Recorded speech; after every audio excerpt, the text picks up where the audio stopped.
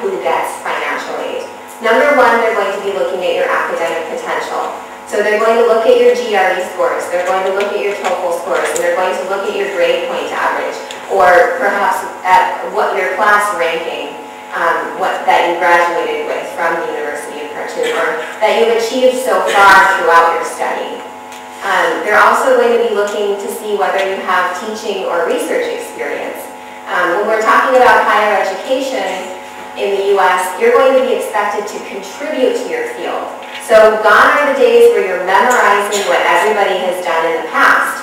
Now you are a contributor. Now you are advancing your field, and you're going to be expected to add something original throughout your master's degree program or throughout your PhD program.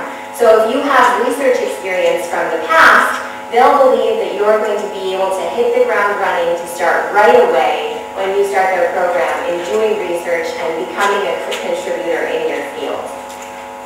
And then they're going to be looking at the application. And I can't stress enough how important the quality of your application is. If you cured cancer and made peace in Darfur, and you send in a personal statement that is grammatically incorrect, disorganized, really long, and completely unclear, they're not going to accept you.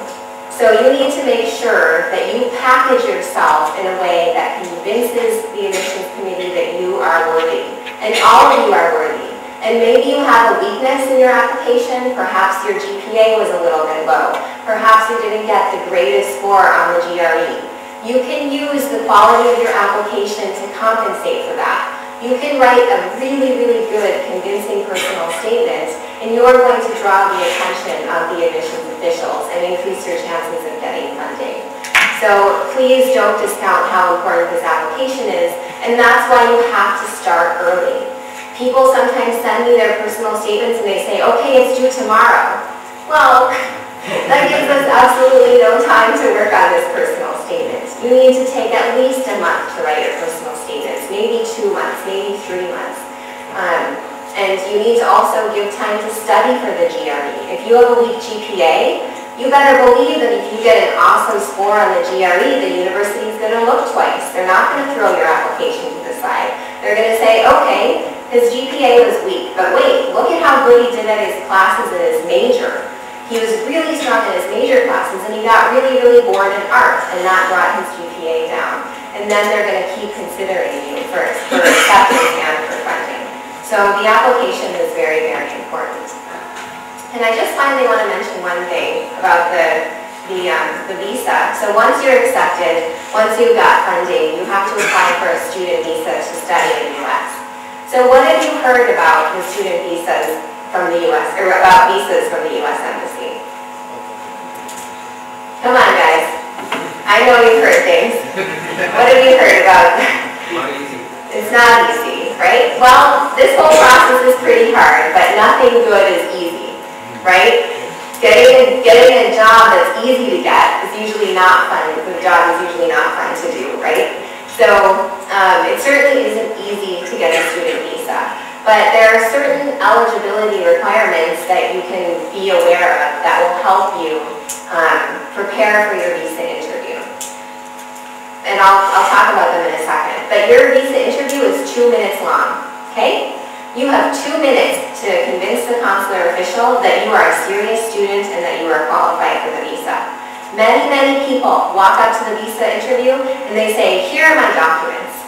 And they don't effectively articulate that they are serious students and that they are qualified. They expect the official to go through all the documents and make the decision that they're qualified.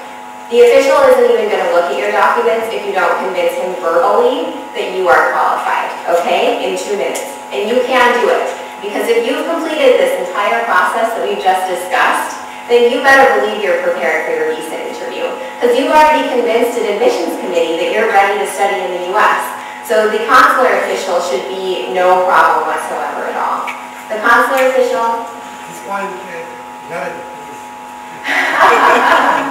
okay, let me finish in English and then I'll talk about it in Arabic. The consular official is looking for three things. They want to know you're a serious student. There's no way you get into a U.S. university with a scholarship if you're not a serious student.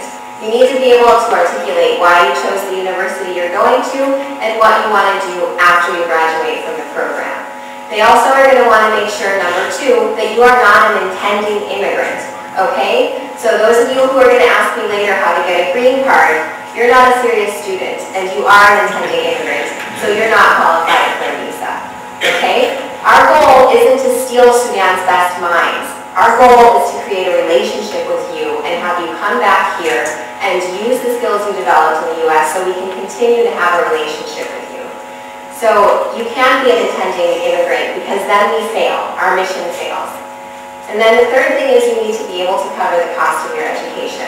So you either need to show several, several months of bank statements that demonstrate that you have extra income for your education, or you need to slap down that fully funded scholarship, scholarship letter and say, I have all this money and I'm going to study in the U.S. So those are the three things that you need to show, and it doesn't take long. In two minutes, you can absolutely explain that. So الآن أنا سأشرح ذلك في اللغة الع- اللغة العربية. Um, so على على الأساس التأشيرة ليست ليست مستحيل إذا تؤهل للتأشيرة وفي ثلاثة شروط أو ثلاثة متطلبات للتأهيل للتأشيرة أول أنك طلاب جاز وإذا تكملت كل الخطوات التي ناقشها من قبل أنت طالب جاد جدا. يعني من المستحيل آم، رسالة شخصية التي آم، أثناء اللجنة القبول أنك مستعد للدراسة العليا في الولايات المتحدة ولن تكون بدون تكون طالب جاز okay إذا لك أنت طالب جاد وتعرف لماذا ستدرس في الولايات المتحدة وأنكم وتذكر أنكم عندكم أهداف واضحة. و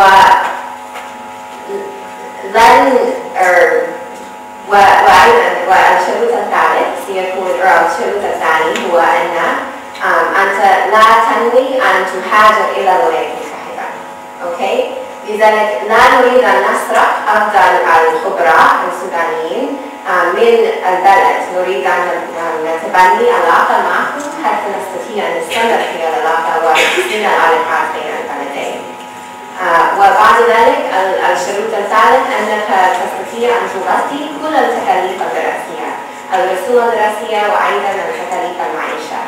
آه، وهذه وإذا تكملت كل الخطوات وتقدمت بالجامعة وحصلت على المنحة الدراسية بالتأكيد أنك تستطيع أن تشرح في الدقيقتين التي عندك أمام ال- المسؤولة القنصلية أنك طالب جاز ولن تهاجر إلى الولايات المتحدة وأنك عندي ال- ال- المصادر المالية الكافية للتمويل الكافي في الولايات المتحدة. أوكي؟ Um, والآن أنا أريد أن أنتهي مع فرص for- but and now I'd like to change or um, finish with two two um, opportunities that the U.S. Embassy has to offer. Right now, the most important of those is the Fulbright um, scholarship program that we have, or Fulbright fellowship program, because the competition for that is open right now. Um, and the applications for that program are due on February 7th, okay? Um, this application has many of the very same things we talked about um, that are required to apply to a U.S. university. And all the information about the Fulbright Fellowship is on the U.S. Embassy website. So if you just Google U.S. Embassy Khartoum, right there at the top it says opportunities to study in- in the U.S. and we have several of them listed and you can apply. Um, and then we also have the Young African Leadership Initiative, which is a six-week leadership training program in the U.S. um, that later comes with opportunities to apply for money to complete community service projects here in Sudan. Um, and that application, that competition and the application for that opens um, in October or November every year. So we closed the competition just last November, but it will open again next year. And then a, a note on the Fulbright is that the Fulbright is for just a nine to 10 month research, um, research experience at a U.S. university. You usually cannot get a degree, a full degree from Fulbright.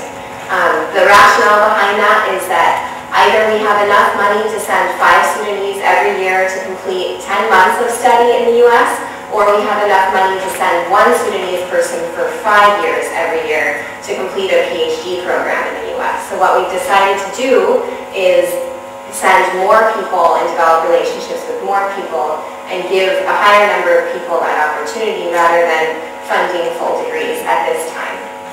Okay, so those are the steps to study in the US. Um, and I hope that you, got, you all are very successful in, in the whole process and that you are motivated and that you take the advice of the gentleman down here to really do your homework and start early um, and have confidence that you will be successful.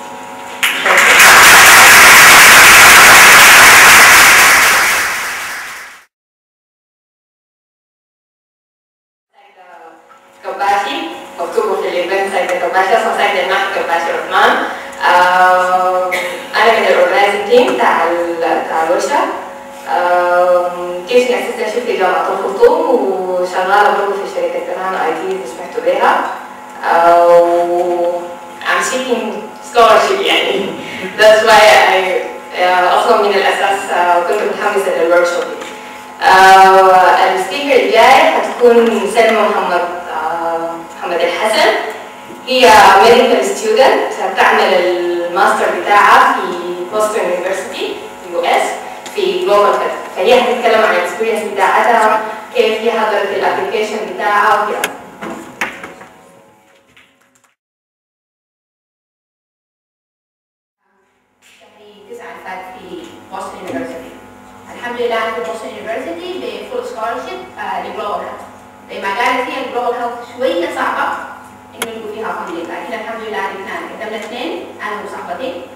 والاثنين حصلنا على فندق من جامعات الولايات المتحده عشان نقرا في الجلوبال هيلث طيب.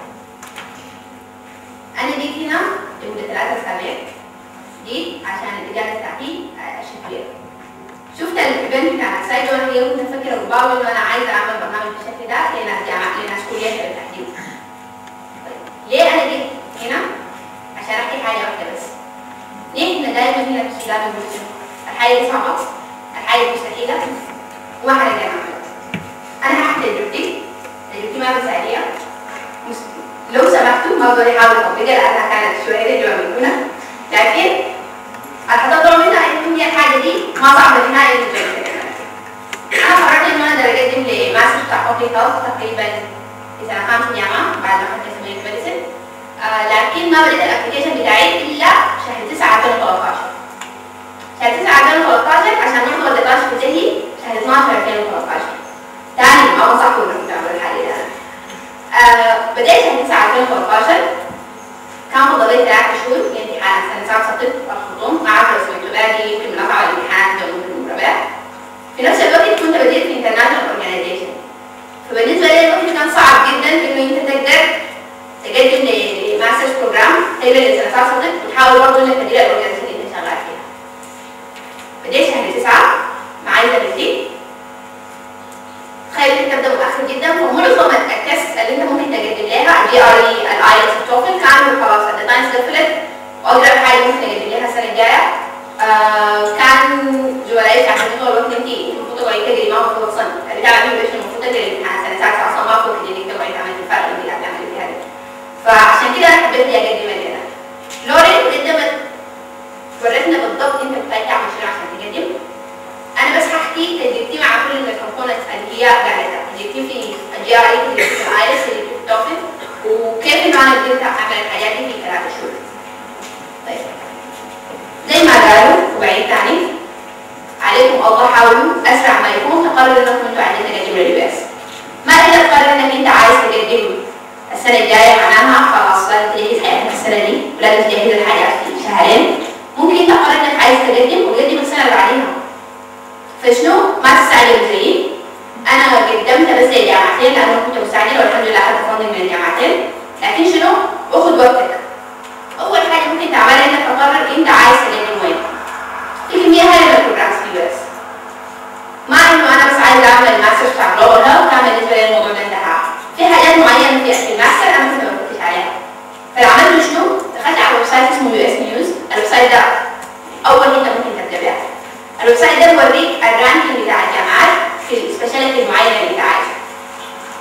ف فبكل بساطه بتخش عندهم فلتر بالجنب بتكتب فيه مثلا public administration. وفي public administration المعين تكتب انت عايش في public administration.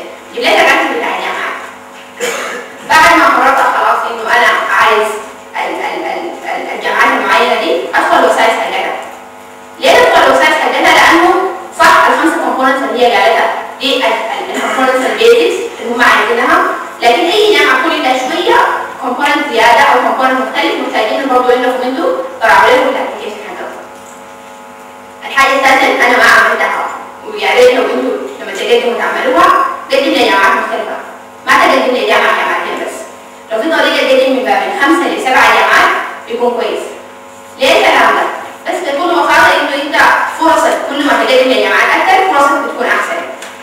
برضه صح قدم لل top universities لكن لو طريقه قدم لل state universities في ال US عندنا حاجة اسمها state universities دي عباره عن public universities ما بيقدموا لها ناس كتار مع إنه مرات بيكون الراتب بتاعها عالي شديد الناس اللي تقدم لها بس لأن هم ما عارفينها يعني بيكونوا سامعين لهارفارد لكن ما بيكونوا سامعين. مثلا بميشيغان university مع إنه ميشيغان university جامعة محترمة جدا. ال state universities دي لأنه ما بيقدموا لها international students كتار لما انت تقدم له بجد بيكون ال application بتاعك مختلف الحاجة الثانية ال funding عندكم برضه بيكون كثير ال private universities ال funding بتاعهم بيكون specific عايزين حاجات معينة في الزول عشان يدوك ال scholarship لكن ال public universities دي أعتقد إنه بالنسبة لك أسهل جدا إنك تلقى funding فيها الحاجة الثالثه شوف ال requirements بتاعت أي جامعة. ممكن تكون شوية مختلفة. شوف ال scholarships ال offer في الجامعة وشوف ال deadlines حقتها. ليه أنا بقول الكلام لأنه إحنا معظمنا بنكون عارفين إنه لأ. ال deadlines شهر 12 الكلام ده صح. لكن في universities كثيره بيكون مثلا عندهم حاجة اسمها preliminary deadline اللي هو مثلا بيكون ب 15 11 ده بيقول لك إنه الناس اللي بيقدموا فيه بيكونوا consider scholarship معينة. فشنو؟ إنت انت صح ممكن تقدم متأخر. ما عندنا مشكلة. وال consider you ليه scholarships ثانية لكن ال scholarship المعينة اللي هم حاطينها من يوم 11 ليوم 15 11 دي تبدأ تنتهي. المعنى شنو؟ تخيل إنه أنا admission office بيقدموا لي أكثر من 2000 طالب في السنة أول ما تجي ال applications أنا هبدأ أعاين لها ما حستنى ال applications كلها تنتهي عشان أبدأ أعاين ال applications فلتخيل إنهم عندهم 10 scholarships للطلاب ال international. ما حيكون كل واحد يشوف كل الطلاب ال international اللي بيقدموا.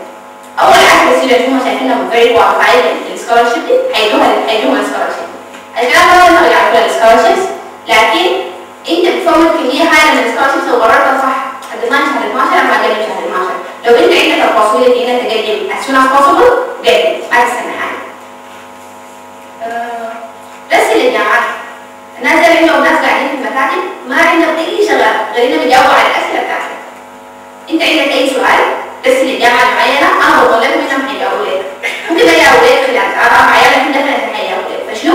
ما ترسل لهم deadline بعد بكره ولا ترسل لهم deadline بعد أسبوع اول ما عندك سؤال لجامعه معينه هو يرسل لهم as soon as possible هم definitely هيردوا عليك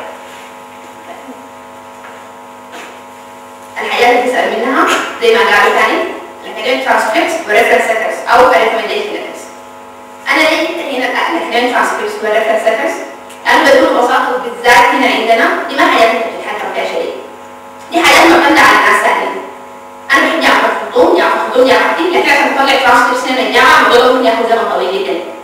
فحاجة سيئة جدا إنك أنت تضيع ال application بتاعك بس لأنه أنت بتفتش بتفتش المسجل وجايب المسجل بتاع الكلية لو انت درست تعمل وما لاقيين عشان تطلع الترانسكريبت فحاول باسرع طريقة إنك تطلع الترانسكريبت عشان تقدم للجامعه محتاج تقدم الترانسكريبت كامله بتاعتك. أنا قدمت وأنا سنه خامسه جامعه فقدمت بحاجه اسمها incomplete transcript تقدم الترانسكريبت حقك لحد سنة خامسه بدرجاتك لحد سنة خامسه بعد تنتهي لو جبت ترسل لنا درجتك النهائيه فانت أول ممكن أول فرصة تلقاها إنك تمشي للجامعة الكلية. وتطلب منهم انه انت عايز درجاتك لحد اسي أطلبها.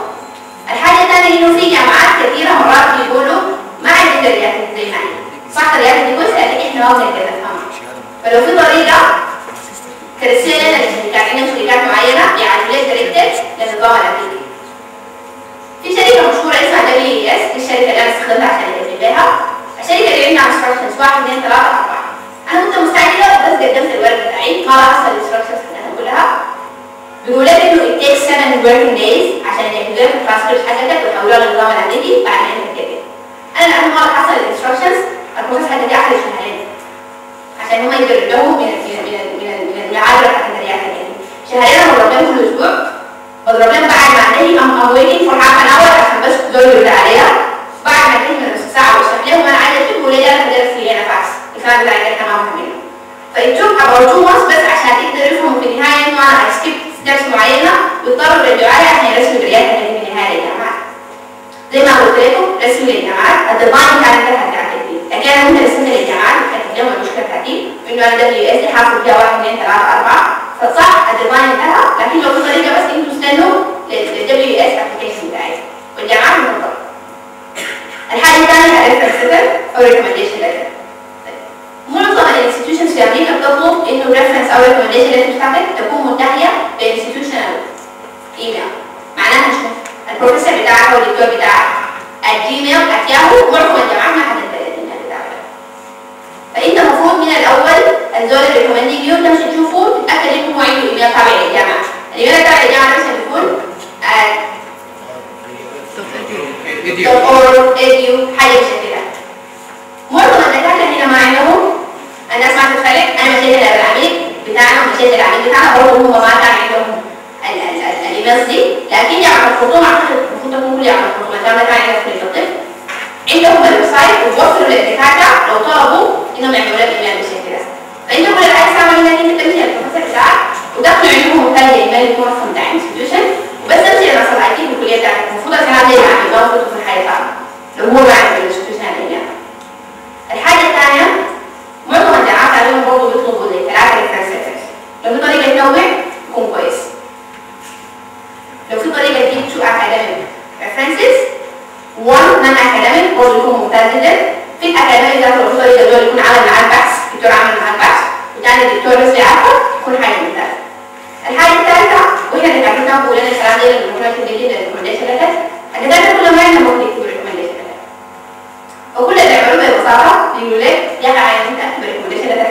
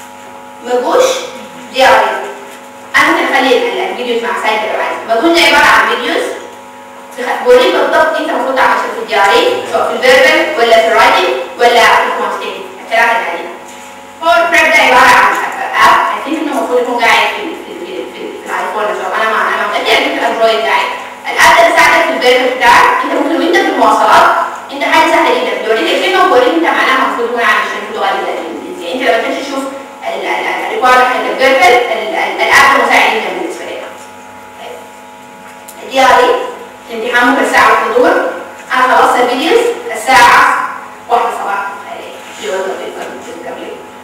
كنت في دولة ثانية قعدت حضرت ال videos كلها. شفت ال techniques لأنه أنا اتأكدت إنه أصلا أنا ما عندي عشان أصلا اقرا ال GRE ولا عشان أبدأ فيه.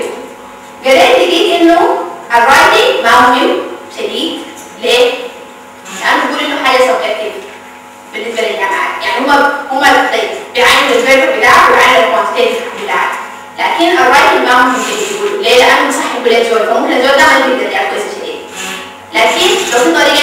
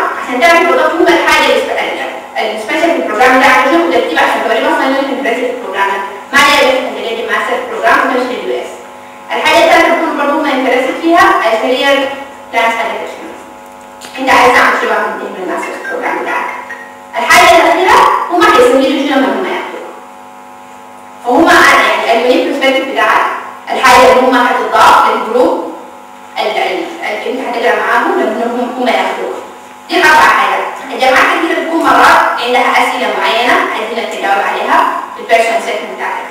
الكلام ده معناه إنك تشيل السؤال وتجاوب عليه. الكلام معناها معناه بما إنك في ال personal statement المفروض ما يكون اجاباتك الأسئلة بتاعتك في ال personal statement بتاعتك. فلو في طريقة أكتب personal statement وقت الثاني وقت الثالث وقت الرابع. أنا بتكلم مع واحدة تقريبا بتلاقي كده 35 personal statement وده بعد ما تكتبها لو في طريقة دول راجعها وتعليقها ذاكر عملت كام ميستيك صاحبك ده يكون اي جي يكون كويس فشنو؟